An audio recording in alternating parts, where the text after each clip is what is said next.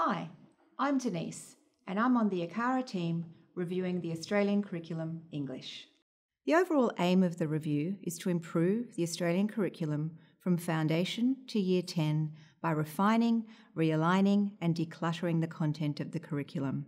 In particular, we're working to refine and reduce the amount of content and duplication where we can.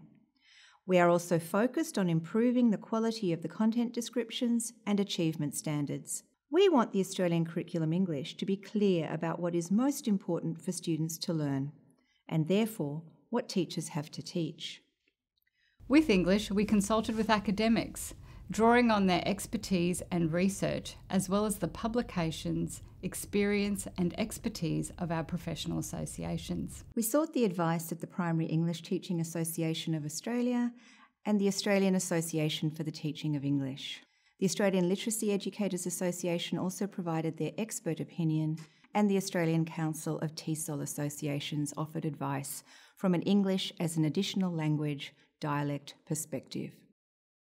We reviewed the approaches to English in other countries and systems, and we considered feedback from ACARA's annual jurisdictional monitoring reports. We referred to version 3 of the National Literacy Learning Progression to inform revisions to the progression of learning in English. We also heard from teachers who shared their experiences about implementing the Australian curriculum. We've established two new English reference groups, one comprising teachers and the other made up of curriculum officers from across Australia. These reference groups have helped guide and inform the review. We also had a separate reference group with primary school expertise. They have been able to give feedback on the manageability of the curriculum, looking across all learning areas at specific year levels or bands. The current English curriculum continues to be well regarded, but drawing on the background research and working with the reference groups, we did identify some key areas where the English curriculum could be improved.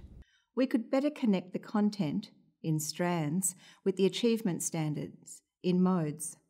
We could use core concepts to connect content descriptions across the strands to better integrate understanding and skills and develop deep knowledge of English. We could remove ambiguity and improve clarity and consistency in the content descriptions. We could review the achievement standards to improve consistency across year levels and progression of understanding. We could give greater emphasis to the receptive mode of viewing and the productive mode of multimodal presentations in the content and achievement standards. And finally, we could find opportunities to better embed the general capabilities and the Aboriginal and Torres Strait Islander cross curriculum priority. And so, we've proposed the following for the English curriculum. Firstly, we have identified core concepts to show the interrelated nature of the English curriculum. We have revised content descriptions to provide greater clarity to teachers about what to teach, and reduced content to avoid repetition within the learning area or with other learning areas. We have refined the achievement standards to reflect the language and demands of the curriculum at each year level and strengthened cognitive alignment between content descriptions and achievement standards. We've authentically included the Aboriginal and Torres Strait Islander cross curriculum priority in the content descriptions and content elaborations, and we've improved content elaborations and ensured that there is a clear relationship between content elaborations and the content we have created a What's Changed and Why document.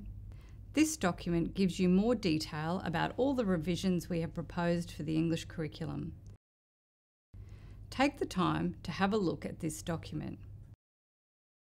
So now, we're looking to hear from you.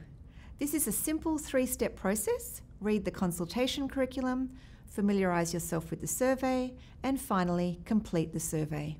It's really important we hear your views.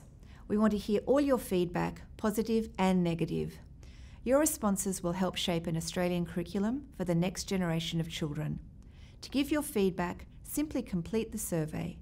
Thank you.